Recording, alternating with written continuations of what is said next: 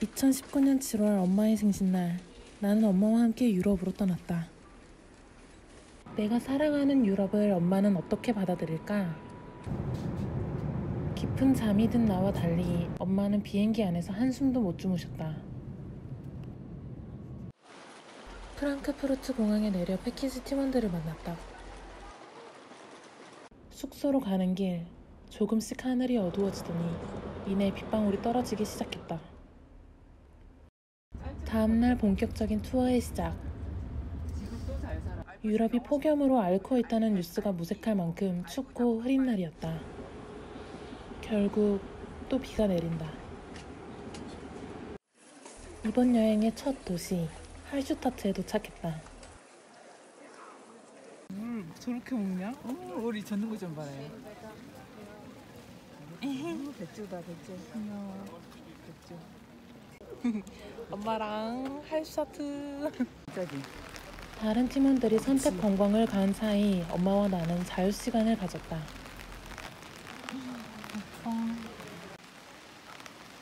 잠시 비도 피할 겸 느긋하게 수다를 떨러 4년 전 명지와 함께 갔던 카페에 다시 왔다.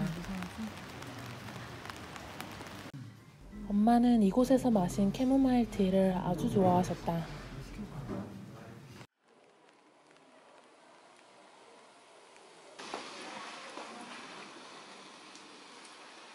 엄마에게 맑은 날의 할슈타트를 보여주고 싶었는데 조금 아쉽다.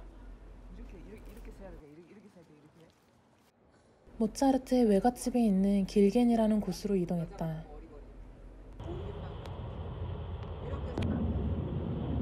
이동하는 길, 눈에 들어오는 초록빛 풍경이 참 아름답다.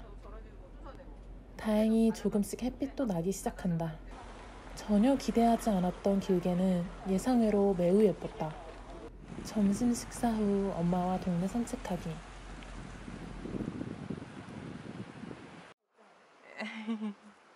엄마, 손 한번 흔들어줘요. 근데 네 얼굴이 흐릿 흐릿하게 보이니 벌레? 여기서? 그냥 찍어. 엄마 나 살짝 부르면은 어. 날 잡아.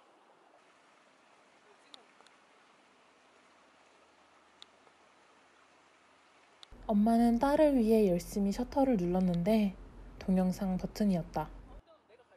하지만 엄마의 귀여운 아. 실수 덕분에 오히려 생동감 있는 그날의 모습이 담겼다.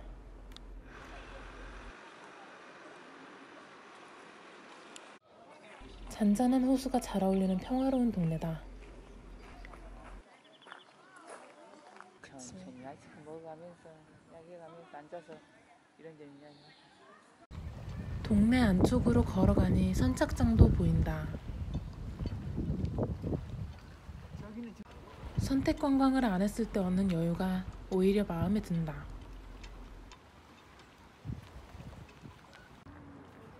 패키지라서 가능한 1일 3도시 짤츠부르크에 왔다.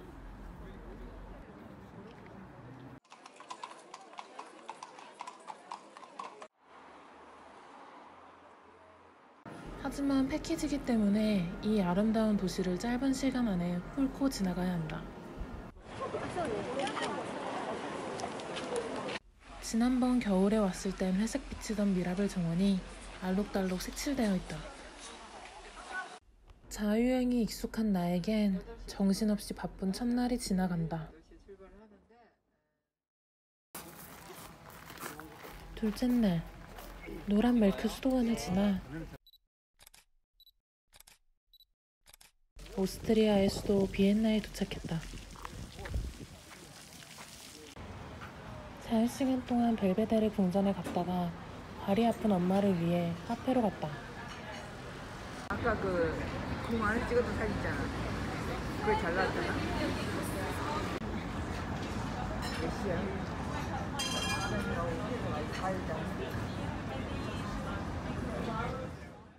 다음날 관광객이 붐비기 전 아주 이른 시간에 심부름 궁전에 갔다. 선택 관광하는 사람들을 기다리는 사이 벤치에 누워 낮잠을 잤다. 엄마도 낮잠을 자는 줄 알았는데 눈을 떠보니 행여나 내 얼굴이 탈까 손으로 그늘을 만들어주고 있는 엄마의 모습이 보였다. 이동버스에 타자마자 골아 떨어졌는데 갑자기 슬로바키아라고 한다.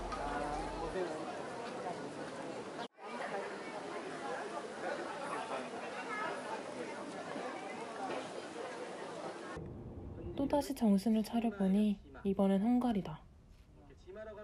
1일 3개국 패키지 여행은 대단하다. 네, 헝가리는 대통령도 있고 총리도 있는데 실권은 총리한테 있습니다. 부다 왕궁에 도착하니 세상이 분홍색으로 물드는 중이다. 지도가 없어졌네요. 아, 여기 보시 나무 있죠, 나무. 나무들. 네. 거기 바로 잔디가 있잖아요, 잔디. 잔디.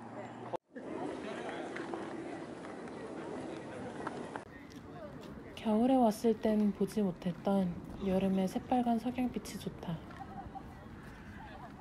어부의 요새에는 이미 많은 사람들이 부다페스트의 여름밤을 즐기는 중이다.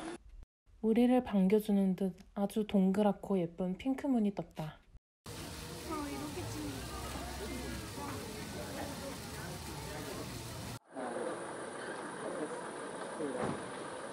갤레르트 언덕에서 긴 하루를 마무리한다.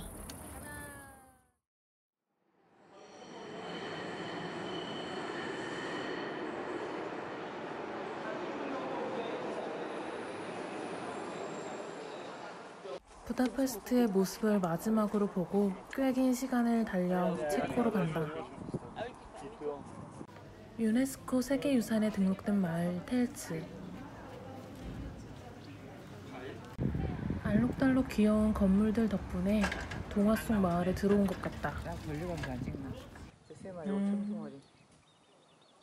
새끼네. 굴리츠키 연못에 비친 텔츠성까지 왠지 낭만적이다.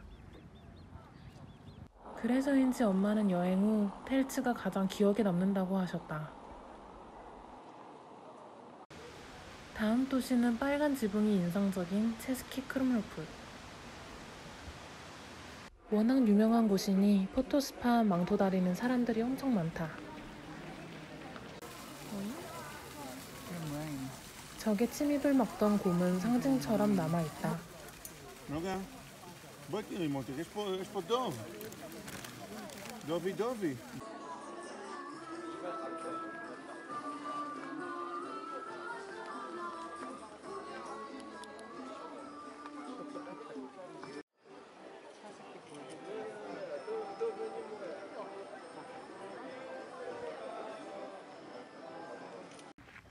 꽤 긴 오르막길을 걸어 올라가야 하는 흘루보카성. 아침부터 계속 걸어 힘든 엄마와 속도를 맞춰 천천히 걸었다. 단정하게 이발한 야외 정원과 온실 덕분인지 꽃내음이 좋다.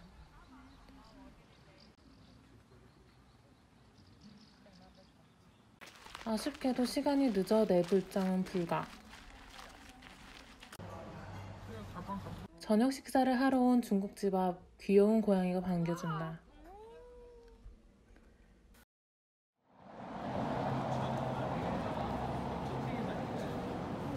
다음날 펠젠이라는 도시에 왔다.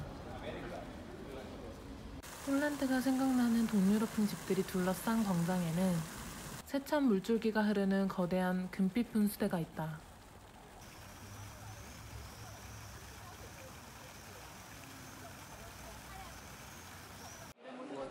다음 도시는 내가 좋아하는 프라하다. 여기가 그 유명한 까르교다 까르교. 까르게? 응. 우리 건너가서 만나자 이제. 어. 헉, 여기 아저씨도 아직도 계시네? 브릿지 밴드는 여전히 까르교 한편에 자리하고 있다. 괜히 아는 사람을 만난 것 마냥 반가웠다.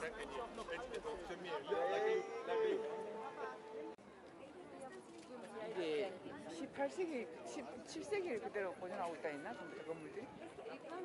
프라하에 처음 왔을 때 동상을 만지며 다시 프라하에 오게 해달라고 빌었는데 소원을 들어줬나 보다.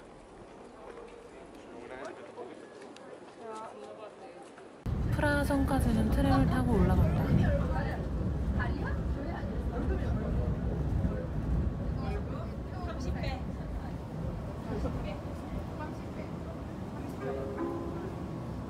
트램을 타면 정말 내가 여행하고 있다는 기분이 든다.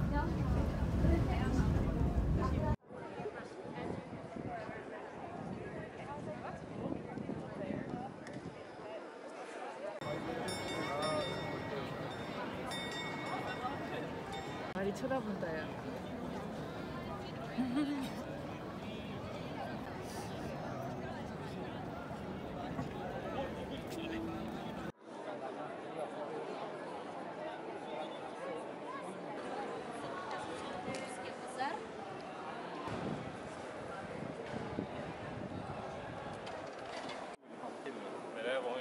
엄마 여기.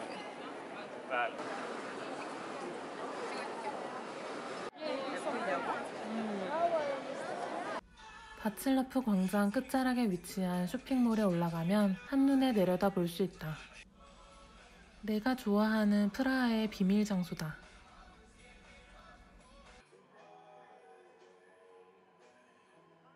판다와 북극곰이 춤을 추는 광장에 모여 다 같이 까르교의 야경을 보러 간다. 급하게 안 걸어도 될 것 같은데? 엄마 다리 조심해 다리.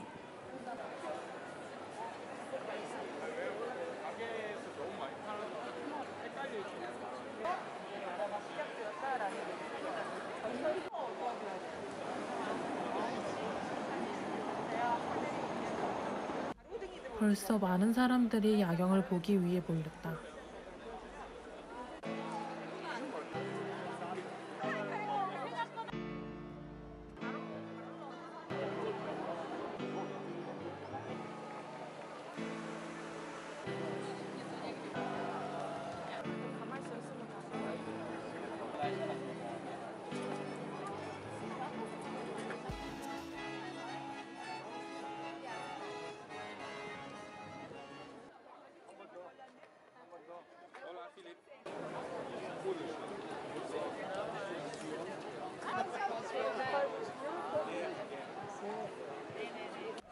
아름다운 프라하의 밤이 전온다.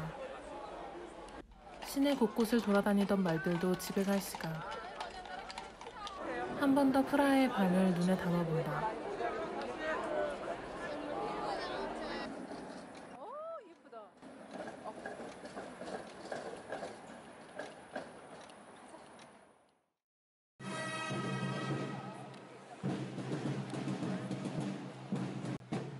우렁찬 북소리에 돌아보니 갑자기 퍼레이드가 시작됐다.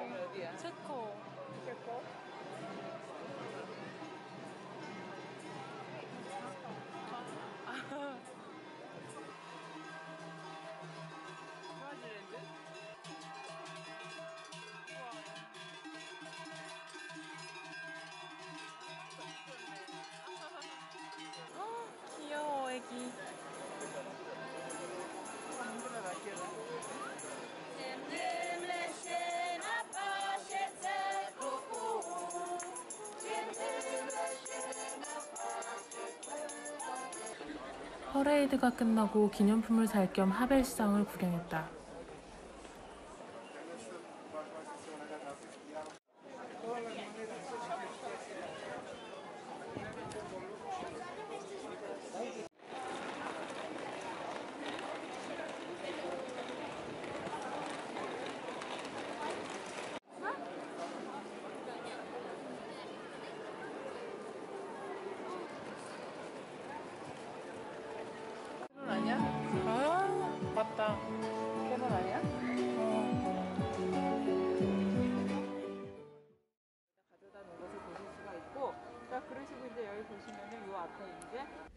드레스덴의 날씨는 무척 더웠다.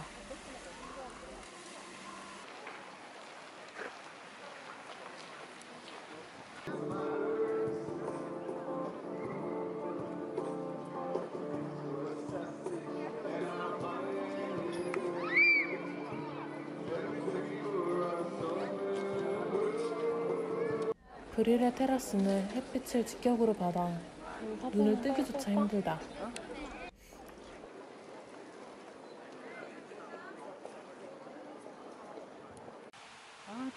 이 이렇게 더우면 우리나라 얼마나 더울까. 열을 식히러 빈수대 안으로 뛰어들고 싶었다.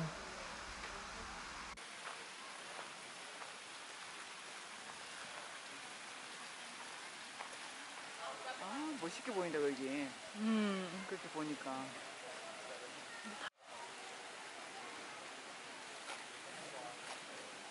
음악으로 딱 나고.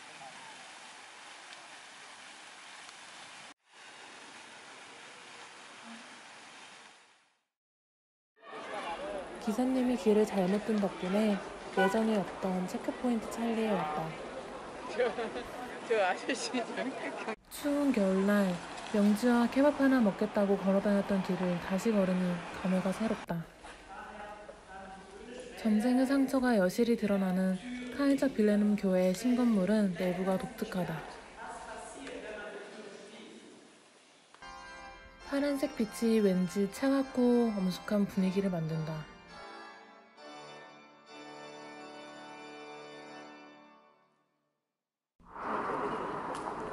와보고 싶었던 홀로코스트 메모리얼.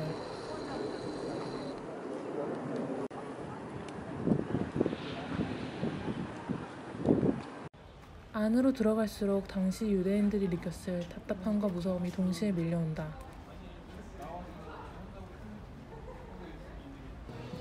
브란덴부르크 문을 지나니 음악 소리가 들려온다.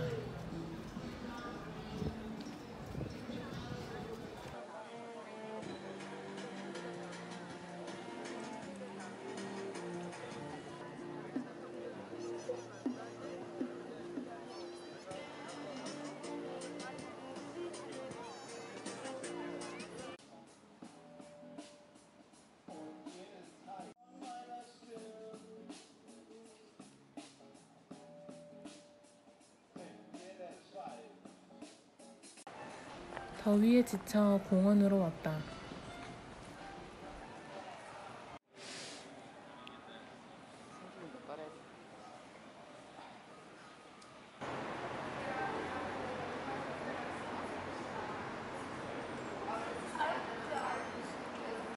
샤를로텐부르크 성에도 갔지만 너무 더워서 그냥 버스 안에서 구경하기로 했다. 안 가봤네. 아 이거 서울이요?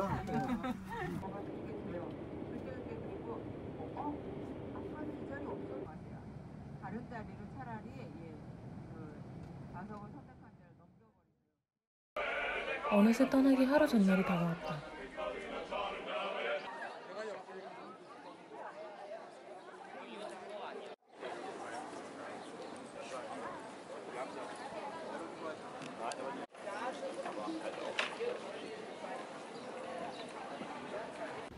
날씨가 선선하고 하늘이 파란 게 꼭 가을 같다. 하늘 파란 거 봐.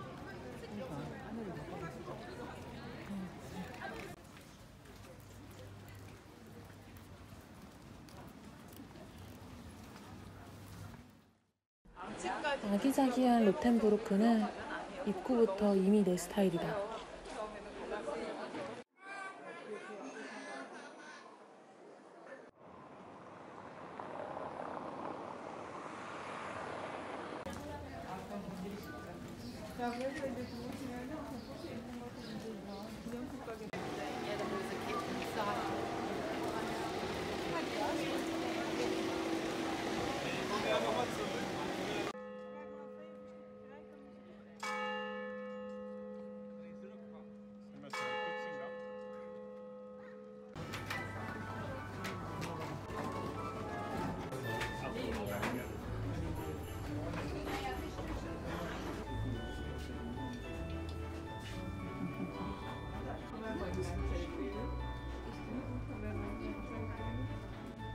(365일) 크리스마스를 느낄 수 있는 케테 볼파르테 하나만으로 로텐부르크를 와야 할 이유는 충분하다.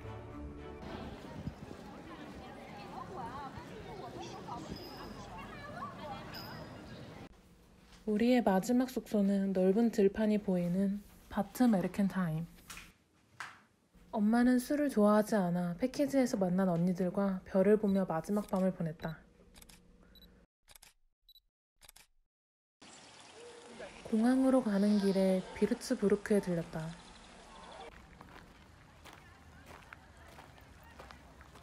우산 속 우산 속에 있는 것 같다 저 봐봐.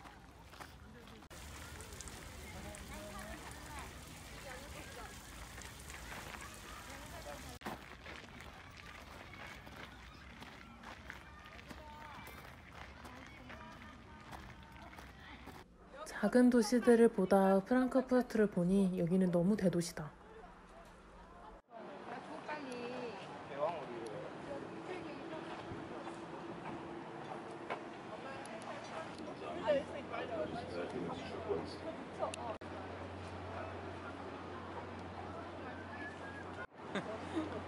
찍고 있어?